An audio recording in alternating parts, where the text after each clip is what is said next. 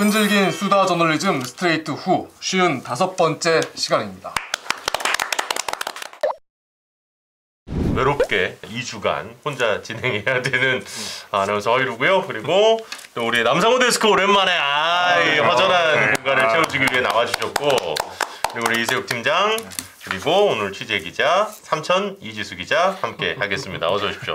안녕하세요. 네. 오늘도 저희가 부산으로 공교롭게도 공교롭게도 또 갔습니다. 어 이수 기자는 진짜 이제 그 부산 지리를 거의 토박이만큼 알겠어요. 제가 이제 그 모 포털 사이트 지도 서비스 이용을 하는데 네. 거기에 이제 제가 이제 취재할 곳을 이렇게 입력을 해놓거든요. 아, 근데 요번에도 딱 이렇게 입력을 해놓고 문득 눌렀는데 거기에 뜨는 부산 지역의 스팟이 막 한 30개는 되는 거예요. 그래서 아 많이 다녀왔구나 뭐 이런 음. 생각 느꼈습니다. 본격적으로 그 내용 얘기하기 전에 이 아이템도 사실은 지난번에 이지수 기자가 취재했던 아이템에서 파생이 좀 된 거예요, 사실은. 내용적인 측면에서 그런 면이 있죠. 사실 이제 건설사와 또 그 인허가 관련돼 있는 사람들 그렇다면 이제 직접적인 인허가권자인 공무원도 있을 거고요. 뭐 그 여론을 형성할 수 있는 언론사도 있겠죠. 그 오늘은 이제 그 부분에 대한 얘기였습니다. 사실 기시감이 좀 많이 들었습니다. 아까 이제 스튜디오에서 저랑 이제 이주수 기자는 또 그 얘기를 나누기도 했었는데 네. 이 마치 동일 스위트가 지금 이제 건설을 해보려고 지금 50%까지 낮췄다고는 합니다만 관광을 위해서 뭐 여러 사람을 위해서 쓰겠다고 되어 있는 바닷가 그렇죠. 정말 좋은 목인데 거기에서 이제 어, 수익을 얻기 위해서는 어쨌든 아파트라든지 이제 주거 공간이 빨리 많은 돈을 회수할 수 있고 큰 돈을 벌 수 있으니까 그렇게 하려고 시도를 지금 하고 있는데 지금 여기는 아직 허가가 안 났고 그렇죠. 그런데 허가가 난 곳을 우리는 알고 있죠. 아 과거 사례 예. 있었죠. 네. 거기가 어떻게 허가가 나지 했는데 허가가 난 곳을 우리는 알고 있습니다. 네. 예, 거기가 이제 그 유명한 LCT고요. LCT였고요. 예, 네. 가고자 하는 방향이 비슷하구나. 그렇죠. 아 이런 느낌을 되게 많이 받았어요. 직접 가보니까 좀 어땠어요? 거기 위치라든지 이런 거. 아 그 현장에 제가 가봤잖아요. 네. 뭐, 그 날씨가 좀 안 좋긴 해서 조금 좀 덜 하긴 했었는데 아 날씨가 화창한 날 여기 왔으면 아 그냥 뷰가. 여기, 어, 눌러 있고 싶었겠다 아. 싶더라고요. 왜냐면은 바로 바다 앞이에요. 거기 또 바로 바다 앞인데 뭐 이 책상 밑에 바다가 있듯이 음. 여기에 만약에 그 아파트가 올라간다 치면은 아파트에서 바로 걸어 나와서 그렇지. 정원 앞에 바다가 이제 있는 아. 그런 구조인데다가 그 옆쪽으로 한한 3, 4분 가면은 이제 해수욕장 연결돼 있고 예. 그 뒤에 약간 상업 시설들 또 있고 음. 그 뒤로는 이제 그 역이 또 개통이 돼 있어서 네. 교통이 좋고 진짜 좋은 땅이네. 네. 진짜 그, 좋은 곳이네. 그 일대가 좋으니까 그 일대가 좋으니까 그 뒤로 이제 신도시가 생긴 거예요. 음. 지금 신도시가 커 있는 상태라서 뭐 수요도 있는 거죠. 음, 아 좋은 좋은 몫이구나 또 하나 미, 미역은 드셨어요? 기장 미역 미역을 보지는 못했고 미역을 보지 못했 미역을 보지 못했는데 말씀을 좀 해주시더라고요. 아 여기 그 가장 유명한 기장 미역 그렇죠, 그렇죠. 하는 곳이다. 그래서 바다가 아주 음. 깨끗하다 이 말씀을 음. 해주시더라고요. 기장 쪽이 또 이게 짱어. 어, 아? 짱어 아. 되게 유명합니다. 예. 그래서 이제 직접 이제 그곳에 계시는 어, 오래 좀 거주하셨던 분들도 좀 만나보고 왔잖아요. 네 그런데. 그 특히 이제 제일 걱정하시는 게 태풍 피해, 음. 어, 그리고 이제 파고, 네. 어, 이제 요, 좀 요런 부분들에 대한 사실 LCT가 들어오고 나서도 강풍이 불었거나 이랬을 때 그 빌딩풍이라 그러죠. 네, 네. 그렇죠. 어, 우리가 이제 흔히 황소바람이라 그러지 않습니까? 이게 저희는 잘 기억이 나는 게 아마 요 멤버들 다 아실 텐데 여의도가 유독 바람이 셉니다. 아 바람 세죠. 네, 셌어요. 네. 진짜 세요. 그게 증권가 되게 높은 건물들 사이사이로 들어오는 이 바람들이 일반적인 그 한강 바람이 이렇게 넘어와서 그 사이를 지나갈 때 이게 좀 다릅니다. 근데 이게 바닷바람 플러스 그렇게까지 큰 건물이 있다면 이거는 훨씬 더할 거라는 걸 미루어 짐작할 수가 있는데 좀 그런 안전상의 문제들에 대한 걱정이 많으시더라고요. 그러시죠, 그러시죠. 예. 그분들이 이제 말씀드린 대로 뒤로는 이미 이제 신도시들이 들어와서 뒤에 이제 아파트들이 일부 올라가 있어요. 음. 그 이미 그래서 피해가 좀 있다라는 그 말씀들을 해주시는데 그 마을 바로 옆에 초고층 건물들이 서게 되면 음. 아예 그냥 병풍처럼 바다를 빼고는 다 건물로. 감싸지니까 음. 그러면 우리는 이제 어떻게 살겠냐. 뭐 음. 말씀하신 대로 태풍과 뭐 파도 피해도 있지만 그 일조권 음, 그렇죠. 그 밑에가 이제 대부분 이제 5층 이하 네, 아까 보니까 그렇더라고요. 그러면은 이제 햇볕 보고 살겠냐 이런 음. 걱정들도 많이 하시더라고요. 음. 자 일단은 뭐 시작은 이렇게 어, 이수 기자가 워낙 건설 어, 관련된 이 인허가 비리와 관련된 취재를 그동안 오래 해 오셨는데 그러고 나서 봤더니 어쨌든 되게 비슷한 지금 느낌으로 인허가 시도를 하고 있는 곳이 있는데 대부분 비판적인 보도를 하는데 유독 한 곳이 어, 이렇게까지 편을 들어줘도 되나 음. 싶 은 걸 발견을 한 거죠 사실.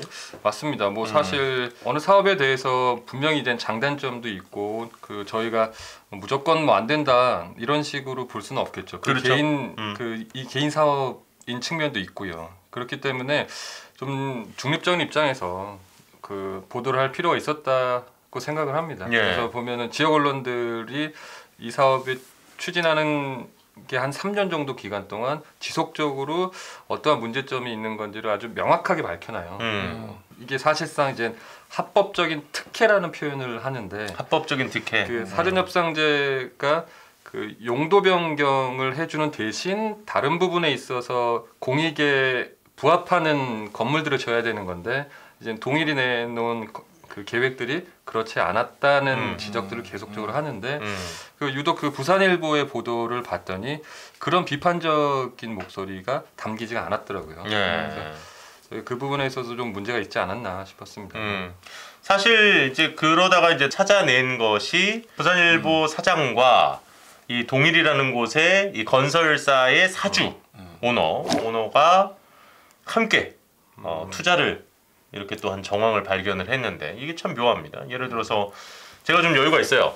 내가 돈이 좀 많은데 어디서 이제 얘기를 들었어. 어, 예를 들어서 아, 내 친구가 남상호라는 친구가 있는데 이 친구가 지금 기술이 좋은 게 있다더라. 그래서 이제 만약에 이 친구 기술로 상장을 하면 이거 대박이다. 그런데 이게 이제 들어갈 때 여러 명이 들어가면 복잡하니까 내가 일단 이 정도 큰 돈을 해서 내가 지분을 좀 사놓게. 그럼 너는 원가에 그 돈 내고 들어와. 들어와 들어와. 이렇게 된 거거든요. 그렇죠. 음. 야 근데 이게 조금 일반적이지는 않잖아요 사실. 그러니까 일반적이지 않은 측면은 아주 굉장히 구체적인 대목이에요. 그러니까 요 계약 관계들을 보- 본 전문가들이 아주 교묘하게 합법적으로 잘 짜여진 계약 같다라고 설명들을 해주시더라고요. 음. 거기 왜 그러냐면은 사실상 지- 이 신기술 사업 투자 조합도 큰 의미에서는 이제 공모가 아닌 사모 펀드라고 볼 수가 그렇죠. 있는데 음, 음. 그 사모 펀드에 들어오는 사람들의 그 속성은 사실 누군지 본인이 드러나지 않길 바라는 마음이 있다고 해요. 음. 대부분의 투자자들이 뭐 그게 그래요. 잘못됐다고 말할 수, 수 있는 건 아니고요. 음. 그러면 이제 그 출자자 명단이 공개가 대부분 안 되니까 거기 개인 투자자가 들어가도 누군지 모르는데 음. 그 출자자의 개인도 아니고 거기에다가 한 번 무언가를 한겨울 조직 더 하나 거죠, 더. 씌워서 들어간 형태가 되니까 그렇죠. 조합을 이제 하나 더. 더 모르는 거죠. 그걸 음. 그렇게 해서 모르는 모르는데 그것까지도 뭐 아주 철저하게 감추고 싶다고 하면은 그렇게 하는 게 뭐 위법 사항은 아니고 그렇죠. 뭐 그거는 이제 음. 선택이니까 그렇게 했는데 보통 거기까지는 뭐 괜찮은데 저희가 좀 문제점이 있다고 보는 거는 처음부터 그렇게 들어올 수 있었으면은 되는데 그 신기술 사업 투자 조합에 예. 근데 이번 건은 그렇게 하고 싶었으나 그렇게 안 됐다는 거예요. 음. 이 개인 투자 조합 분들이 이 투자자 분들이 김은수 대표의 그 투자 권유를 받고 음. 본인들이 합리적으로 판단을 해서 거기 들어가려고 했으나 음. 근데 그 시점은 신규 사업 투자 조합이 마감되기 며칠 전이었다 그래요. 예. 그래서 음. 그런 그 개인 투자 조합과 뭐 투자 조합이든 신탁이든 이걸 결성을 해서 들어오기에는 시간이 없으니 촉박했고. 어. 없으니 그러면 이 자리를 김은수 대표가 본인의 돈을 내고 일단 맡아둔다. 맡고 음. 그 다음에 이 조합이 만들어지고 그 다음에 신규 사업 투자 조합 자체도 좀 마무리가 되면 그걸 지분을 양수도하는 계획을 초반부터 세운 거죠. 음. 이 경우에는 음. 그러면 누가 여기서 이익을 본 거냐를 곰곰이 따져봐야 되는 상황인 건데 음. 말하자면 내가 급하게 11억이 필요한데 그걸 누가 쉽게 선뜻 빌려 줄 수 있겠네. 빌려, 빌려줄 그렇죠. 수 있겠어요. 음. 이자 비용이 상당한데. 그렇죠. 야, 그러니까- 천백만 원도 없어. 그래서 이 투자 조합 입장에서 보면은 아주 구체적으로는 몰라요. 왜냐하면 음. 그 신규 사업 투자 조합에 그 규약에 어떻게 문구들이 들어가 있는지 서로 간에 어떻게 어떻게 이익을 합의가. 됐는지에 대한 거를 음. 저희가 정확하게 모르기 때문에 음. 이거 그냥 통상적인 수준에서 이루어지는 거를 좀 참고를 해야 되는데 그러면 그냥 저희가 3%대 금리만 적용해도 11억이면은 얼마인지 개인 투자 조합은 3개월간 그걸 빌린 셈이 될 그렇죠. 수도 있거든요. 그렇죠. 해석에 따라서. 네. 김 회장님이 먼저 돈을 낸낸 거니까. 그렇죠. 그런 부분이 하나 있고 두 번째는 그 신기술 사업 투자 조합이 투자자들은 말하자면 이제 업무 집행 투자자 한 명한테 그 운영 수수료를 내야 돼요. 연으로 따지면. 어 이거 좀 어렵다. 음. 어, 좀 더 쉽게 얘기해 주면 그러니까? 투자자들이 그 펀드를 어. 굴려주는 사람. 운도, 운영해 주는 사람한테 이 펀드에 대한 운영 수수료를 네. 내야 되죠. 그게 네. 본인 투자 금액의 몇 퍼센트를 낸다고 규약에 명시를 하게 돼. 음 네. 그렇구나. 예. 그러면 이런 상황이라면 사실은 그것도 김 회장이 대신 내준 그렇죠. 거죠. 내준 셈이 되는 그게 거죠. 보통 한연 2%, 뭐 음. 1, 2% 수준이라고 하는 하면은 또 음. 거기에다가 그 11억에 대해서 그 2%의 운영 수수료를 3개월간 대준 내준 셈이 될수 음. 있다라고 추정을 하고 있는 거죠. 음. 그런 부분들이 좀 의심스럽다. 네네. 그렇죠. 그러니까 사실 이게 뭐 실현화된 이익이 아니기 때문에 우리가 뭐 부정청탁 방지법에 걸린다 이렇게 말씀드리진 않았습니다. 그렇죠. 네. 그렇긴 합니다만 일반적이지는 않다는 건 뭐 대부분 좀 느끼지 않으셨을까 네. 그런 생각이 좀 들었고 뭐 어쨌든 좋습니다. 언론사 대표와 건설사의 사주가 어, 이렇게 개인적인 관계가 있을 수 있어요. 어, 언론사 사장이 건설사 대표랑 친구라는데 그걸 갖고 뭐라고 할 수는 없는 거 아니겠습니까? 그렇죠. 네. 그런데 어쨌든 기사의 방향이 조금 공교롭게도. 다른 곳과 공교롭게도 다르더라. 그런데 또 알고 봤더니 저는 그게 좀 놀라웠어요. 어, 아 이게 기사 방향에 영향을 미칠 수 있는 자리이더라. 그렇. 저희도 사실은 이 언론사들은 대부분 시청자의 의견을 듣는 회의체를 가지고 그렇죠. 있습니다. MBC 같은 경우도 시청자위원회가 있고요. 그렇죠. 시청자위원회가 구성이 예. 되어 있고요. 근데 저희 같은 경우도 보통은 이제 대학 교수님들이 많이 참석을 그렇죠. 하시고요. 그렇죠. 시민단체 분들 의견도 많이 듣고요. 언론학자들도 제법 있고. 이 회사는 되게 특이한 구조를 가지고 있더라고요. 음. 이수기 좀 설명을 좀 더. 그렇죠. 이번에 이제 그 지난해 구성된 독자위원회의 구성 인원을 보니까 26명, 25명, 6명. 네. 그 중에서 64% 16명이 기업인이었던 거예요. 기업 어. 기업인들. 그러니까 회의를 해보면은 10명 중에 6명 앉아 있는 사람들이 다 기업인인 거죠. 그렇죠. 그분들 입장에서 이제 보도에 대해서 품평하고 그 지적하고 음. 그게 다 이제 기록에 남잖아요. 사실상 공식적인 그렇죠. 공식 절차니까. 공식 그 그렇죠. 기구고요. 네. 그렇기 때문에 그 의견을 구성원들이 공유해서 참고를 네. 아까 회람한다고까지 나왔었죠. 네, 어. 그러면은 거기서 이제 어떤 발언을 하느냐가 굉장히 중요한 거죠. 뭐 이런 구성 자체에 대해서 비판이 있다고 하더라도 실질적으로 보니까 회의에서 아주 좋은 공적인 얘기만 했다고 하면은 또 문제가 없을 수 있, 있다고 봐요. 음. 그런데 이분들이 어떤 말씀을 하셨는지를 쭉 살펴보니까 사실상 그 부분도 이해 충돌이 되지 않나 음. 이런 발언들이 좀 있, 있더라고요. 음. 그렇죠. 그 방송에서 담지는 못했지만은 그 부산 지역 법인세 관련해서도 음. 되게 구체적으로 어떻게 써야 된다 이렇게 뭐 아, 그렇죠, 그 그렇죠. 얘기를 한 적이 있었다면서요. 오. 아, 그렇죠. 말하자면 이제 보도의 기법에 대한 추천, 지적 뭐 이런 건데요. 음. 어떤 이제 법인세 관련한 기사가 나오는데 거, 거기에 대해서 이게 좀 미진하다고 생각하셨나 봐요 위원들이. 음. 음. 그러니까 다른 지역의 뭐 사례라든가 구체적인 숫자를 제시를 해야지 음. 뭐 이렇게 뭐 감정에 호소하는 거 정도로 되겠냐라고 아, 그러니까 법인세를 좀 인하하는 게 맞다라는 식의 논조를 좀 더 강하게 써달라.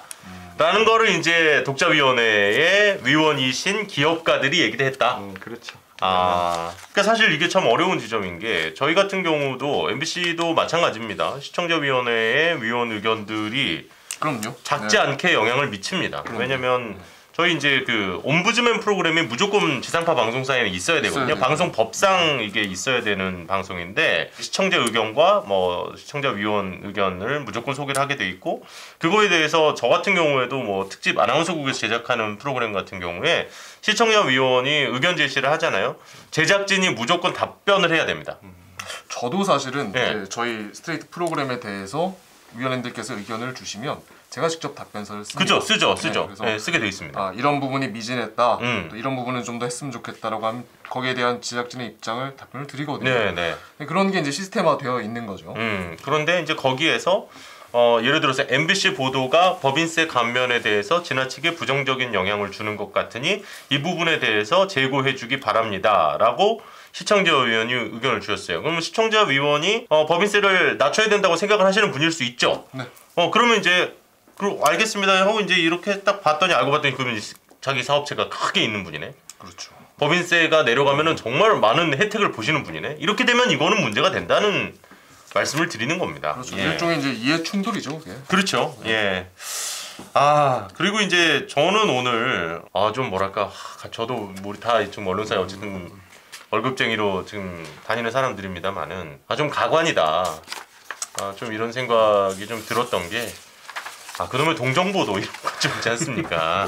우리 회장님은 뭘 하셨어요? 약간 이런 것들 조금 아, 근데 사실은 나 뜨겁지 이게 않았나? 이 지역에서 나가는 방송의 경우 이게 지역별로 사실은 방송이 나가다 보니 저희가 인터넷으로 찾아보지 않는 한 저희가 접하기는 쉽지가 않거든요 맞아요. 사실 저도 이 정도까지 동정 보도가 나가고 있을 거라고는 상상을 못했습니다 음. 깜, 깜짝 놀랐어요 이번에 뭐 호방건설 얘기도 좀 오늘 좀 나왔었고요. 그리고 호방건설은 지금 이제 서울신문을 또 이 표현이 적절한지 모르겠지만 노리고 있죠. 그렇죠 그 얘기 하더라고요. 그러니까 뭐 건설사 대표가 이런 좀 정부 행사나 뭐 이런 데 가면 앞줄 못 앉는데요. 근데 언론사 대표라 그러면 앞줄 안 친대요. 아 그럼요 네. 돈은 뭐 충분히 있는데 나도 이제 좀 이런 대접 좀 받아보자 뭐 이런 분들의 생각일까요? 아 저는 좀 보면서 근데 보면 사실은 또 언론사들 가운데 이렇게 이 매물로 나온 언론사들 가운데 일부는 또 보유하고 있는 땅이라든가 네. 뭐 자체 재산들이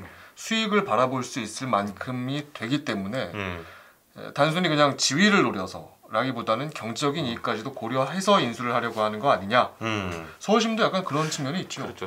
그뭐 지적이 나오는 부분이죠. 혹시 호방건설이 하는 건데 그게 뭐냐면 그 서울신문이 그 광화문에 프레스센터를 소유하고 있지 않습니까? 그렇죠, 지분인데 굉장히 오래된 건물이지만 그 규모나 그리고 그 활용도 면에 있어서는 아직까지도 굉장히 중요하잖아요. 아, 상징성도 있고요. 상징성도 네, 네. 있고. 또 시내 한복판에 그 정도 면적이면 예. 근데 이제 오래된 건물이다 보니까 음. 이게 이제 리모델링 내지는 뭐 재건축도 그렇죠. 어떻게 보면 또 가능하고 거기 정말 지하 주차장 하, 심란하거든요.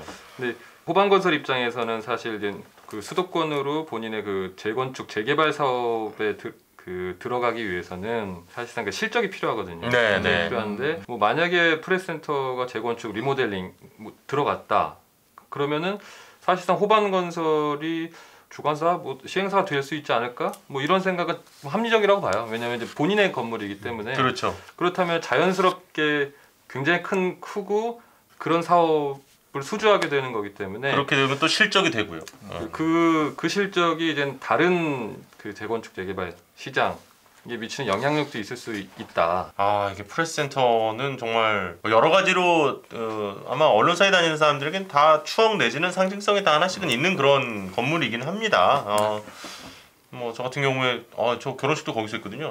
예. 아 맞아요, 맞아요. 예, 예, 예. 그렇죠. 몇 뭐- 층이죠, 거기? 거기 그 위에 20층. 그죠, 20층에 예. 예, 예. 네. 결혼식도 거기서 했었는데 야 여기가 또 이렇게 된다는 얘기를 들으니까 좀 마음이 좀 착잡하기도 하고 같은 언론 쪽에 어쨌든 종사하고 있는 어, 그런 이슈들을 또 좀 다루면서 참 저는 착잡하다는 생각이 좀 여러 가지로 많이 들었습니다. 사실. 저희가 사실은 이런 이 언론에 대한 비판 보도를 하는 게 저희 입장에서도 사실은 그렇게 녹록한 작업은 아닙니다. 그리고 뭐 이제 뭐 저희도 실수를 안 한다 뭐 이렇게 말씀드릴 수 없기 때문에 그렇죠. 누워서 뭐 침 뱉는 거 아니냐 뭐 이렇게 보실 수도 충분히 있다고 생각도 들고요. 그렇지만 제가 뱉은 침 제 얼굴에 맞더라도 어 뭐 누워서 침을 뱉더라도 문제가 있으면은 또 침을 뱉어야 되는 거 아니냐가 이제 저희 입장이기 때문에 남데스크는 어떠셨어요 이번 아이템 이거 쭉 같이 진행하시면서 아, 이게 그러니까 저도 약간 비슷한 생각이 들었는데요. 뭐 방송사도 그렇지만 언론사들이 전반적으로 요즘 경영이 그렇게 쉽지 않죠. 좋다고 말할 수는 없잖아요. 네. 그런 그런 환경이 오히려 이제 좀 자금이 풍부한 기업 입장에서는 얘네들이 돈은 안 되지만 음. 그래도 이 사회에 가지는 영향력이 있으니까 음. 충분히 그런 숫자로 드러나지 않는 부분에서 우리한테 도움이 되니 이거를 노리자 이런 게 이미 상당 부분 진행이 됐고 지금도 진행 중이라는 그런 현실이 좀 안타깝더라고요. 음. 그래서 예, 어쨌든 여기 계시는 분들이 다 동료니까 네. 그 되게 그렇죠. 고민이 많고 힘들겠다 그런 생각을 다시 한번 하게 됐습니다. 그리고 이제 사주가 있는 회사와 그렇지 않은 회사의 차이에 대해서도 또 한 번 좀 저는 느꼈던 것 같아요. 그러니까 맞습니다. 어, 지역 민방 같은 경우야말로 어, 뭐 차입 경영이나 이런 상황이 발생하면은 뭐 바로 이제 다른 곳에서 지분을 가지고 이렇게 충분히 이렇게 딜을 할 수 있는 그런 환경이 너무 쉽게 조성이 되는 거고 상대적으로 이제 MBC 같은 경우는 그런 상황이 발생할 수는 없는 회사다 보니까. 그러니까 뭐 니들은 뭐 어차피 그래도 된다고 해서 뭐 이렇게 쉽게 얘기하는 거 아니냐. 뭐 이렇게 또 아마 다른 어, 회사에 계시는 분들은 또 그렇게 보실 수 있을지도 모르겠어요. 그렇지만. 아 이게 참 언론이라는 곳의 현실과 이상에 대한 게 계속 저도 고민을 좀 하게 만드는 어, 그런 아이템이었습니다. 끝으로 우리 이지수 기자 이번 아이템 쭉 취재하면서 좀 소회. 아 예. 음, 뭐 언론 종사자로서 제 생각 이뭐 다른 분과 같을 수는 없겠죠. 그런데 특정한 부분에 있어서는 좀 민감도가 떨어지는 게 아닌가라고 생각하는 이제 취재 대상들이 있었어요. 음. 말씀을 나눠 보면은 아, 이렇게까지 별일 아니라고 생각하시나 하는 우리가 부분들. 취재했던 음, 네, 내용들이 뭐 그런 분들이 있었고 어 그리고 이제 두 번째는 그 지역 민방의 이제 구성원 분들과도 제가 말씀을 좀 나눠봤는데 지금 이렇게 저희가 이제 문제 제기를 하지만 사실상 구체적이고 강제력 있는 조치를 만들 수 있는 방안이 없다 음. 현실적으로 음. 지금 이렇게 외부에서 얘기를 하는 것밖에는 지금 방안이 없고 내부적으로도 회사 측과 어, 합의문을 만든다든지 이런 것들이 이루어지고 있지만 강제력이 없기 때문에 언제든지 이걸 어길 수 있는 상황이고 그렇게 항상 이제 위태로운 상황이다라고 그 어려움을 많이들 말씀을 해주셨습니다. 음, 얼마 전에 그 라디오 채널의 문을 그냥 닫아버렸잖아요. 어, 지상파 라디오 채널 하나가 문을 그냥 네. 닫아버려 더 버리면서 이제 사측에서 하는 이야기는 어, 여기 노동자들이 계속 뭐 말을 안 들어. 어 그래 그럼 그냥 문 닫지 뭐. 어, 이렇게 그냥 해버리면 또 어떻게 보면 그분들도 생활인이기도 하고. 어, 이곳이 직장이기도 한데 참 그 사이에 간극을 어떻게 메울 것이냐 이거를 언론을 바라보는 기업들의 시선이 뭐 당장 바뀔 거라고 기대하지는 않습니다만 아 이걸 단순히 그들의 홍보 도구로 사용하려는 건 어쨌든 저희가 계속 좀 감시하면서 문제 제기를 해야겠다 네. 이런 어, 아이템이었습니다. 예, 아 어쨌든 우리 이주수 기자 고생 많으셨고 예. 어, 정말 이거 부산에 우리가 사무실이라도 하나 만들어 줘야 되는 거 아니냐. 다음번 아이템 혹시 부산에서 하게 되면 네. 그때는 제가 오피스텔을 얻어줄 수 있는 그러니까요. 예, 예, 예. 그래서 그냥 납품하는 식으로. 네. 예, 예. 그래서 뭐 부산 MBC에 잠깐 이제 협조 구해가지고 거기서 편집 좀 해가지고 이렇게 올려보내 녹음해서 올려보내는 걸로. 어, 이것도 한번 고려를. 예. 자 어쨌든 어. 녹화는 하러 올라와야 되잖아요. 거기 있다가 그렇지, 그렇지. 그러니까 진짜로 출장 오는 거지, 출장. 서울로 출장 오는 거지. 어, 서울로 출장 와서 녹화만 하고. 진심인데 그래도 일단 그 거점지가 필요하니까 일단 부산을 거점으로 해서. 예. 자 어쨌든 우리 이지수 기자 고생 많으셨고 예. 자 이제 클로징 합시다. 구독 좋아요 알림 설정 아, 사수. 구독 설정 알림 구독 좋아요 알림 설정 본방사수. 몇 번을 좋아요, 좋아, 좋아. 알림 설정, 본방사수. 수고하셨습니다. 다음 주에 뵙겠습니다.